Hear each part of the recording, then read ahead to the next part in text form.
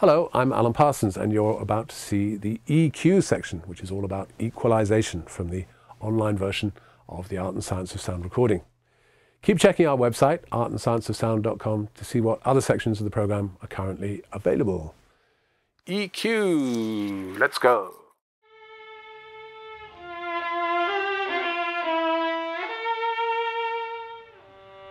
All sound is produced by combinations of waves of varying frequencies moving the air around us. When we record, one measure of how faithfully we reproduce all the component sound waves is called frequency response. A good frequency response in a recording device is one way to assess its quality. What we call a flat response in a device or system is normally ideal. Also, we usually strive to have the recording as clean as possible without any distortion but often distortion and a modified frequency response is desirable. That's where audio processing comes into play.